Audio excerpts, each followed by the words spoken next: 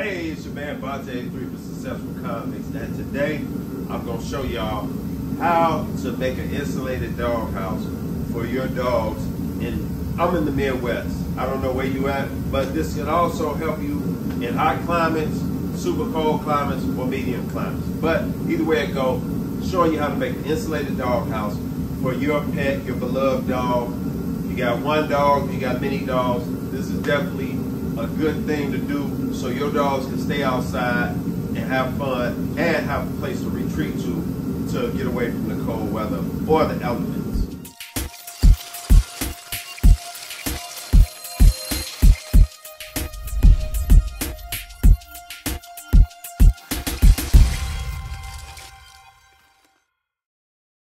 As we see, we have your typical dog house. Go in, you know what I'm saying? Open to the elements. Now, as we see right here, you have your insulated dog house. Get down. See what I'm saying? Get down. Top can slide off where you can go inside.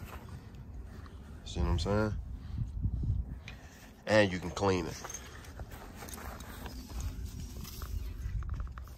So we're in the cold Minnesota weather. We're in Minnesota at this particular time. And I'm gonna speak loud because I got the space heater blowing because otherwise it will be freezing in here. But, all right, now you need simple tools for this. First you're gonna need, and I got a portable, you're gonna need a circular saw. Circular saw. You're gonna need a drill. Portable too. You can use corded corded stuff too. It don't have to be portable. You're gonna need two four by eight pieces of plywood. You can use solid plywood or you can use the OSB. It doesn't matter. However you want to make your dog house, that's how you make it. And you're gonna need some two by fours, which I got pieces of two by fours, but you're gonna need, uh, let me see. And I'm gonna leave the uh, plans too. So you're gonna need, I said, the two uh, pieces of four by eight plywood, four foot by eight plywood. And you're gonna need four two by fours because you're gonna have to cut them, cut them down. So now I pretty much, over here. I pretty much cut, pre-cut all the wood. And what I did, I put the sizes on here so I know which sizes to connect. So you got to cut them. You got to cut them into certain sizes. And then you're gonna have enough for the roof, the inside with the two by fours and all that. So I pre-cut the wood. I got enough wood cut for two dog houses, which I gotta make two dog houses. But like I said, I'm gonna show you how to make one and we're about to put these pieces together. So I need eight, I need eight two by fours that's cut 24 inches long. So I got one. So now this is how I do it. Take this, and this is called a square too. You can use this if you if you want to. Put that, put it on 24 and I use a square to make my line.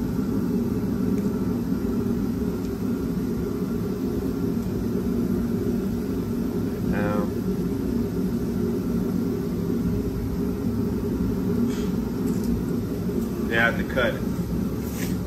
So now I'm gonna cut eight of them. Well, seven, because I got one.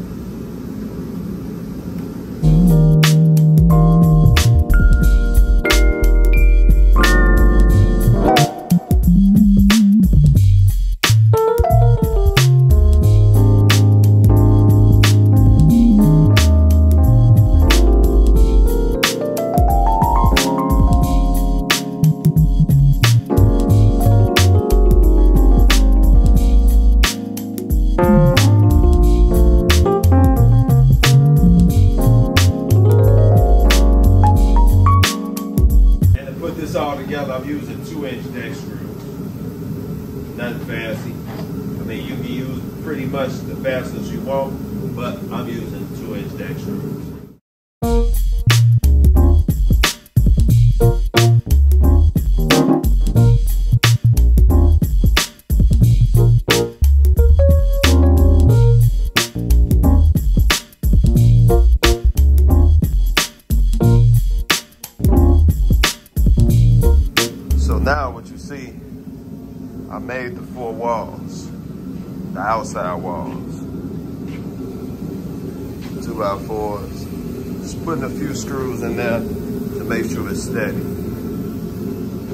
Then down here, um, get two screws right there because that's the opening. So now, so now what I'm gonna do, I'm gonna flip it over so I can nail the bottom to the four walls so it can be solid. And then I'll flip it back over and then I'll start building the insides and working my way around. But I gotta screw the bottom to the, the four walls.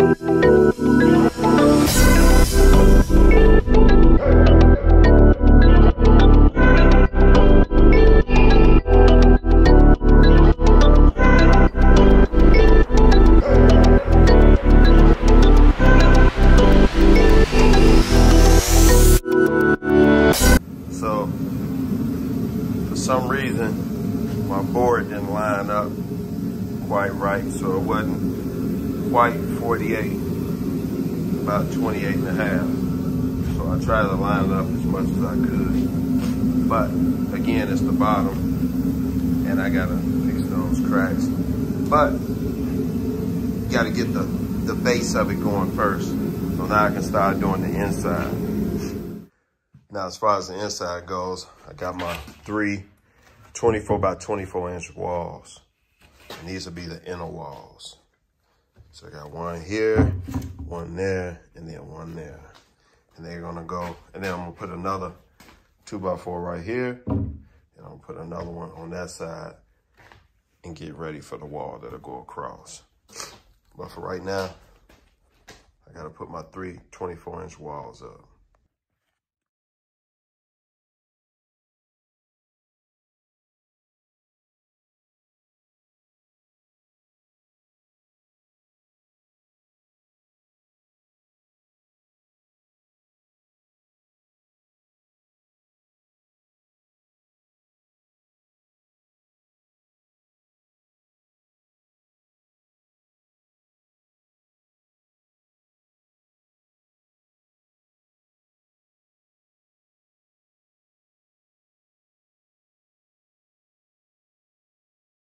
So now we have the inner walls pretty much in place.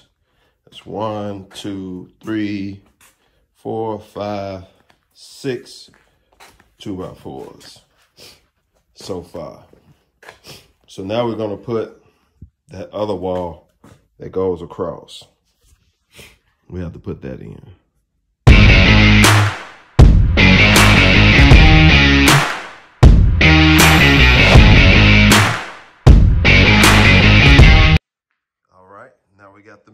Wall in. And I put that piece on there because I had to cut it off to make the cutout. So as you see, it's coming along. Got the four walls. Now we gotta put our two by fours right here.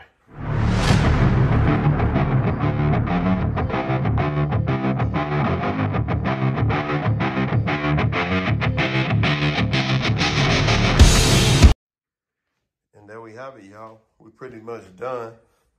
We just got to do the top, the four sides, and you just got to tweak it a little bit for the little parts, like like I said at the bottom. So you got that little gap right there I got to tweak. The doorways and all that. But I'm gonna put I'm gonna put a little strip right here too to go down like I did over there on the inside.